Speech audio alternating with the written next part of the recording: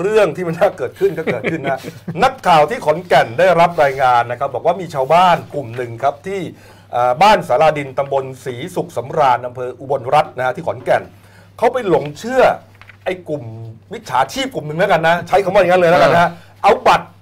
เนี่ยบัตรลักษณะคล้ายๆ กับบัตรเครดิตนี่แหละ แล้วก็ใช้ว่าบัตรพลังงานครับ อวดสรรพคุณว่ารักษาโรคได้ทำได้ทุกอย่างปวดเมื่อยตรงไหน แปะตามร่างกายหายปวด หายปวด หรือว่าเอาแก้วน้ำที่มีน้ำอยู่เนี่ยไปวางทับ อ่า แล้วเอาน้ำมาดื่ม เป็นยาวิเศษเลย หรือถ้ายังไม่หายดี เอาบัตรจุ่มแม่งเลยเออแล้วก็กินเออชะงัดเลย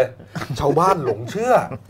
ชาวบ้านหลงเชื่อครับนี่ฮะมีหลายคนหลงเชื่อ เพราะว่าอะไรเขาบอกว่า เพราะว่าไปทำแล้ว หายจริง ปวดขาเอาวางขาแป๊บหนึ่งให้รู้สึกดีขึ้น ครับ เออ ปวดท้องกินน้ำที่มีบัตรจุ่มลงไปโอ้โหดีขึ้น รูปทานป่ะ เออผมว่าอุปทานหมู่ คุณทวีผมบางนามสกุลหน่อยฮะ ชาวบ้านที่ถูกชักชวนไปเข้าอบรมก็บอกว่าครับเอ่อบริษัทอะผลิตภัณฑ์นี้เป็นของบริษัทแห่งหนึ่งครับที่เรียกว่าบัตรพลังงานเขาบอกว่ารักษาโรคได้ทุกอย่างอย่างที่บอกนะแล้วก็มีการสาธิตให้ดูครับ ก็ปรากฏว่าตัวเองก็ ทำแล้วก็หายจริงปวดขาอะไรต่างๆเนี่ยก็เลยสนใจสมัครเป็นสมาชิกครับ ซื้อมาก่อน 5 ใบ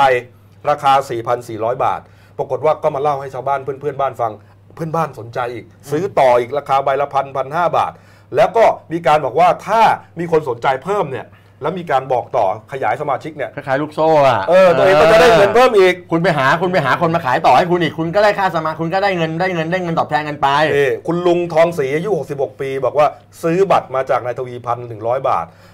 ปวดหูมากเลย มีน้ำไหลออกจากหูตลอดเลยนะฮะแต่ปรากฏว่าพอเอาเอาน้ำเอาไอ้ไอ้บัตรเนี่ยวางที่หูนะแล้วก็จุ่มน้ำกินและอธิษฐานด้วยนะให้หายจากโรคนี้ดื่มน้ำเข้าไปปรากฏว่าเฮ้ยน้ำที่ไหลออกจากหูหายไปเลยอะ มันหายไปไหนหายจากข้างนี้ไปอยู่ข้างนี้เหรอ ไม่รู้คุณลุงทองศรีบอกหายไปเลย ส่วนตัวก็อาจจะยังไม่เชื่อนะ เชื่อสิเปอร์เซ็นต์แต่ว่าเฮ้ยมันหายได้เว้ยก็เลย ก็เริ่มจะเชื่อแล้วล่ะ เออนี่ฮะเดี๋ยวก่อนเนี่ยคือคือยังไม่หมดคุณคุณลุงสินธนูนี่ฮะเป็นชาวบ้านที่น้ำพองขอนแก่น ก็เป็นหนึ่งในสมาชิกเหมือนกันนะฮะแกก็สงสัยอยู่เหมือนกันนะเอ๊ะมันจะจริงไม่หายจริงเหอจริงวะจริงไม่จริงวะปรากฏว่าก็ไปเข้าร่วมกับบริษัทนี้เหมือนกันครับ แล้วก็ไปถามตัวแทนบริษัทนี้เนี่ย ว่าสรุปแล้วไอ้บัตรเนี่ยมันช่วยได้ยังไง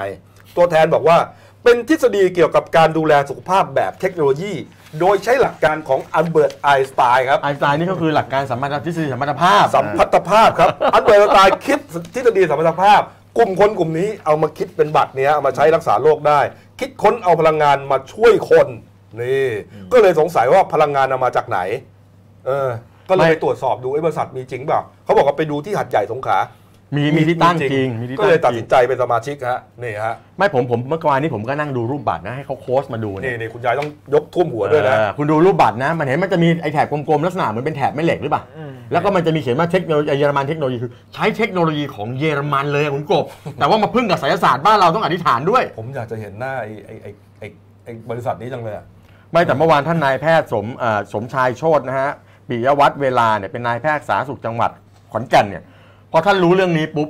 ท่านรีบลงพื้นที่เลยเอาคณะลงไปเลย ก็ไปทดส่งทดสอบชาวบ้านจะอ้างยังไงก็ไม่รู้อะแต่ท่านบอกว่ามันน่าจะเข้าข่ายหลอกลวงมากกว่าเออแกพูดแล้วแน่นอนนะแล้วก็ไม่มีการจดแจ้งขึ้นทะเบียนอย่างถูกต้องตามกฎหมาย ตรวจสอบรายละเอียดและ QR code บนบัตรก็ไม่พบว่าไม่พบข้อมูลปรากฏในสารระบบ น่าเชื่อว่าเป็นการหลอกลวงผู้บริโภค ที่สำคัญตามหลักการแพทย์แล้วมันไม่สามารถเป็นไปได้อย่างที่รักษาได้อย่างที่บอกกันหรอกถูกต้องเป็นครับไปไม่ได้เป็นไม่ไม่ไม่จริงอะ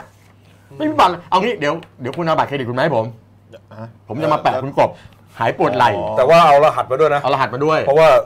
ไหล่ผมเนี่ยหายากคุณต้ต้อองงใช้ใช้รรหัหัสสด้วยเดี๋ยวจะไปรูด ผมผมกลัวว่าจะไปรูดแล้วก็เป็นตามลายเซ็นหลังบัตรผมเนี่ย เนี่ยก็ดูเนี่ยคือคือประเด็นก็คือว่าคนไทยกลุ่มหนึ่งเนี่ยก็ยังอ่า เชื่อเรื่องนี้อยู่ คือถ้าเป็นเรื่องเกี่ยวกับยาหม้ออ่าเรื่องเกี่ยวหรือกับน้ำมงน้ำมนต์อะไรน้ำมยังนต์พอหรือว่าเข้าใจไปได้ ปลูกขอจอมปลวกต้นไม้เออ ใบหญ้าก็ยังโอเคนะ ยังรู้สึกว่ามันก็คงจะไม่อาจจะไม่ถึงก็ช่วยได้แต่เรายังพอเข้าใจได้ว่ามันเป็นการช่วยความช่วยทางจิตใจไงแต่ไอ้บัตรเครดิตอะไรบัตรพวกเนี้ยมันไม่คุณรู้ว่าจริง ๆ แล้วเนี่ยนะ วิทยาศาสตร์กับวิทยาศาสตร์กับความเชื่อบางทีมันก็ไปด้วยกันไหม การก่อกำเนิดของทฤษฎีใหม่ๆ ทางวิทยาศาสตร์เนี่ยมันเป็นการทำลายความเชื่อต่างๆ ที่เกิดขึ้น ตั้งแต่โลกแบนครับอ่าจนมันมีทฤษฎีเฮ้ยจริงๆโลกมันกลมครับใช่ไหมหลายๆอย่างมันมันทำมันทำเพราะฉะนั้นเนี่ยคุณเอาความเชื่อมาบวกกันผมยิ่งยิ่งไปกันใหญ่ไงนั่นแหละฮะปัญหาครับทางเอ่อคุณสมชายโชตก็บอกว่าเตรียมจะร่วมกับชาวบ้านนะฮะกลุ่มหนึ่งที่เขาอาจจะเริ่มไม่เชื่อแล้วเนี่ยครับไปสืบหากลุ่มเจ้าของบัตร เข้าข่ายหลอกลวงประชาชนแล้วก็จะแจ้งความดำเนินคดีครับ ไม่แต่ผมผมเป็นห่วงหนอยนะคุณกบอย่าลืมนะเขาบอกว่าบริษัทอยู่ที่สงขลาอืม แต่บัตรมาถึงขอนแก่นแล้ว แล้วคุณคิดว่ามีแค่ขอนแก่นเหรอ เออ มันอาจจะมีแถวอีสานอีกเยอะแยะไปหมดเลยก็ได้ หรือครับแถวภาคใต้อะอืม ต้องไปดูนะครับเอ่อยังไงท่านผู้ชมที่ดูข่าวเนี้ยต้องต้องดูแล้วต้องต้องใช้วิจารณญาณอย่างหนัก แต่คุณหมอเขาบอกแล้วมันใช้ไม่ได้หรอกอืม ก็อย่าไปใช้ ครับนะฮะอืม